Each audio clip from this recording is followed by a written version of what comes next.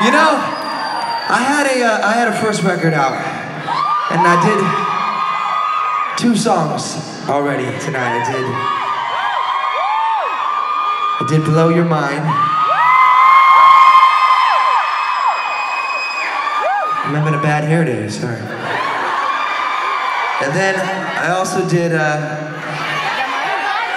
wow. I forgot. I got you. And then there was, you know, those were two of my favorite songs on the record, but then there was one that I actually wrote that was really, really important to me.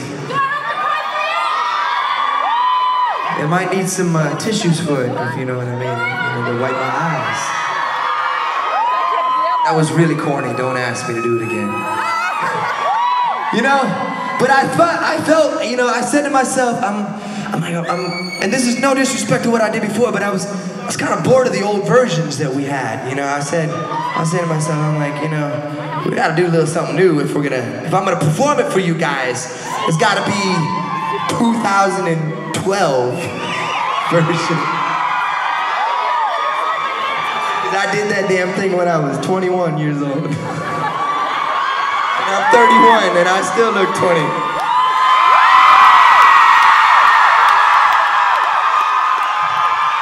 You know, it's you. It's you guys. You keep me looking young. You keep me wanting to stay healthy. All right, all right, I'll get going. This is Do I Have to Cry for You?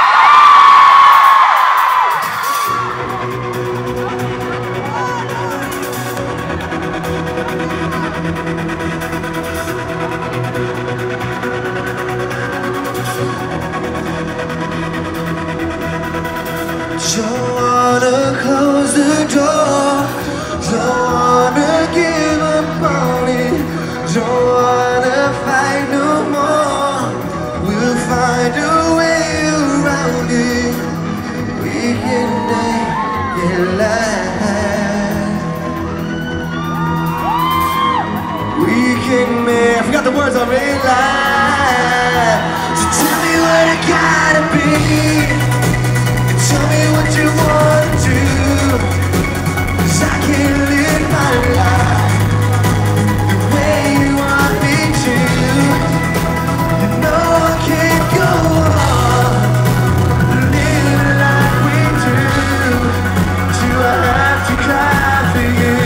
Do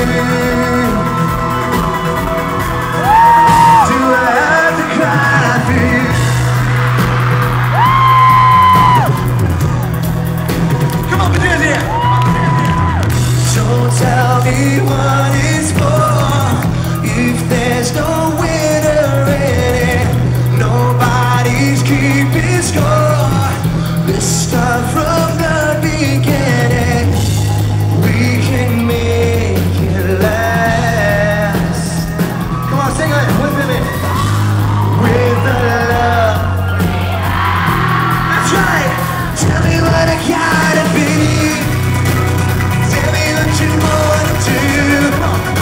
Cause I can't live